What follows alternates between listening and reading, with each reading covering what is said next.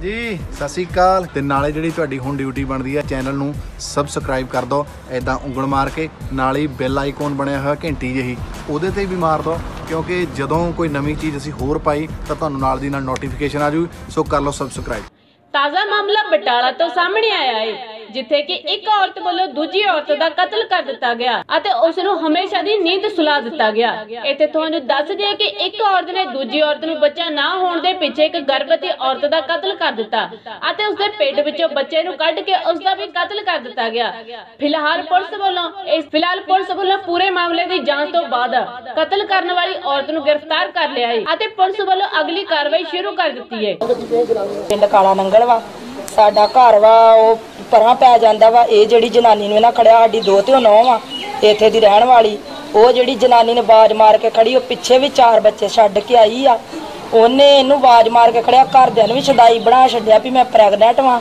ਉਹ ਘਰ ਦੇ ਵਿੱਚ ਸਾਰੇ ਪੂਰੇ ਪਰਿਵਾਰ ਨੂੰ ਉਹਨੇ ਛਦਾਈ ਬਣਾ ਛੱਡਿਆ। ਜੇ ਘਰ ਦੇ ਕਹਿੰਦੇ ਰਹੇ ਆ ਵੀ ਤੂੰ ਹਸਪੀਟਲ ਚੱਲ ਕਿ ਆਪਣਾ ਟੀਕਾ ਲਵਾ, ਕੋਈ ਅਲਟਰਾਸਾਊਂਡ ਕਰਾ, ਉਹਨੇ ਨਹੀਂ ਕਰਾਈ। ਉਹਨੇ ਮੁੜ ਕੇ ਇਦਾਂ ਉਹਨਾਂ ਨੂੰ ਸ਼ਦਾਈ ਬਣਾ ਬਣਾ ਕੇ ਤੇ ਉਹਨਾਂ ਨੂੰ ਕਹਿਤਾ ਮੇਰਾ ਬੱਚਾ ਇਦਾਂ ਹੀ ਹੋਣਾ, ਮੈਨੂੰ ਵਿਸ਼ਵਾਸ ਵਾ। ਉਹਨੇ ਇਸ ਤਰ੍ਹਾਂ ਮੁੜ ਕੇ ਪਿੰਡ ਦੇ ਵਿੱਚ ਆਪਣੀ ਸੱਸ ਨੂੰ ਵੀ ਘਰੋਂ ਕੱਢ ਦਿੱਤਾ ਵਾ ਤੇ ਨਾਨ ਨੂੰ ਵੀ ਕੱਢ ਦਿੱਤਾ ਵਾ। ਸਾਜੀ ਮੈਂ ਬਲਵਿੰਦਰ ਸਿੰਘ ਆ। ਮੇਰੀ ਪਤਨੀ ਜਸਵੀਰ ਕੌਰ ਸੀ। ਤੇ ਗਵਾਂਢੋਂ ਘਰ ਜਨਾਨੀ ਆ ਕੇ ਆਵਾਜ਼ ਮਾਰ ਕੇ ਲੈ ਗਈ 11 ਵਜੇ। ਕਹਿੰਦੀ ਘਰੇ ਕੋਈ ਕੰਮ ਹੈ, ਘਰੇ ਆ ਕੋਈ ਸਾਰਾ ਆ ਤੇ ਕੋਈ ਵੀ ਨਹੀਂ ਉੱਥੇ ਹੈਗਾ। ਤੇ ਉਹਨਾਂ ਖੜ ਕੇ ਤੇ ਫਾਹ ਦੇ ਕੇ ਮਾਰ ਕੇ ਤੇ ਉਹਦੇ ਪੇਟ 'ਚੋਂ ਬੱਚਾ ਕੱਢਿਆ ਪਾੜ ਕੇ। ਉਹਦੇ ਸ- ਸਹੁਰੇ ਨੇ ਤੇ ਸੱਸ ਨੇ ਤੇ ਨਾਲ ਉਹਦੀ ਨੌਂ ਨੇ। ਤੇ ਉਹਨਾਂ ਨੇ ਮੁੜ ਕੇ ਲਾਸ਼ ਨੂੰ ਲਗਾ ਦਿੱਤਾ ਵਾ। ਤੇ ਦੋ ਦਿਨ ਉਹਨਾਂ ਨੇ ਪ- ਬੈੱਡ ਥੱਲੇ ਰੱਖ ਛੱਡੀ, ਉਹਨਾਂ ਦੱਸਿਆ ਉੱਥੇ ਬਿਆਨ ਦਿੱਤੇ ਆ। ਤੇ ਤੀਸਰੇ ਦਿਨ ਉਹਨਾਂ ਕਿਹਾ ਸੀ ਪੇਟੀ 'ਚ ਪਾਤੀ ਆ। ਮੰਗ ਕਰਦੇ ਵੀ ਸਖਤ ਤੋਂ ਸਖਤ ਨੂੰ ਸਜ਼ਾ ਦਿੱਤੀ ਜਾਵੇ। ਥਾਣਾ ਸਦਰ ਪਟਾਲਾ ਇੱਕ ਕਤਲ ਦਾ ਮੁਕੱਦਮਾ ਬਲਵਿੰਦਰ ਸਿੰਘ ਵਾਸੀ ਕਾਲੇ ਨੰਗਲ ਦੇ ਬਿਆਨ ਤੇ ਦਰਜ ਹੋਇਆ ਸੀ। ਇਹ ਸਾਹਮਣੇ ਇੱਕ ਘਰ ਹੈਗਾ ਆ। ਬਲਵਿੰਦਰ ਸਿੰਘ ਦੀ ਪਤਨੀ ਜਸਵੀਰ ਕੌਰ ਨੂੰ, ਸ਼ਨੀਵਾਰ ਨੂੰ ਇਸ ਘਰ ਦੇ ਜਿੰਨੇ ਮੈਂਬਰ ਸੀਗੇ, ਜਿਹੜੇ ਦੋਸ਼ੀ ਨੇ ਰਵਿੰਦਰ ਕੌਰ, ਉਹਦੀ ਸੱਸ ਆ ਜਗਿੰਦਰ, ਲੜਕੀਆਂ ਨੀਤੂ, ਕੁਲਵਿੰਦਰ ਕੌਰ, ਅਮਨ ਤੇ ਇੱਕ ਉਹਦਾ ਘਰ ਵਾਲਾ ਪੂਰਨ ਸਿੰਘ ਤੇ ਇੱਕ ਦੋ ਦੋਸ਼ੀ ਹੋਰ ਨੇ ਪਿੰਡ ਦੇ, ਜਿਨ੍ਹਾਂ ਦੇ ਨਾਲ ਇਹਨਾਂ ਨੇ ਸਲਾਹ ਮਸ਼ਵਰਾ ਕਰਕੇ ਤੇ ਇੱਕ ਦੋਸ਼ਣ ਜਿਹਦੇ ਕਹਿਣ ਤੇ ਪੁੱਛਾਂ ਦੇਣ ਵਾਲੀ ਇੱਕ ਜਨਾਨੀ ਹੈਗੀ ਆ ਲਾਗੇ ਇੱਕ ਪਿੰਡ ਦੀ, ਫਸਲਪੁਰ ਕਲਾਂ ਦੀ। ਇਹਨਾਂ ਨੇ ਉਹ ਜਨਾਨੀ ਦੇ ਮਗਰ ਲੱਗੇ ਰਵਿੰਦਰ ਕੌਰ ਦੇ ਬੱਚਾ ਨਹੀਂ ਹੁੰਦਾ ਸੀਗਾ।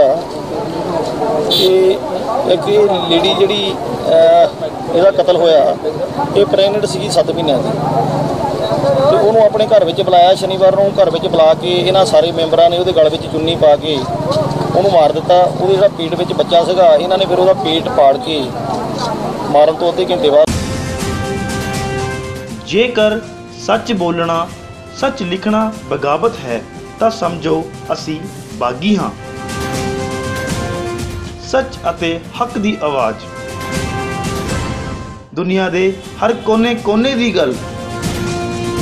ਪੰਜਾਬ ਟੀਵੀ ਕਰੇਗਾ ਸੱਚ ਦਾ ਖੁਲਾਸਾ। ਤੁਸੀਂ ਦੇਖਦੇ ਰਹੋ ਪੰਜਾਬ ਟੀਵੀ ਸੱਚ ਅਤੇ ਹੱਕ ਦੀ ਆਵਾਜ਼।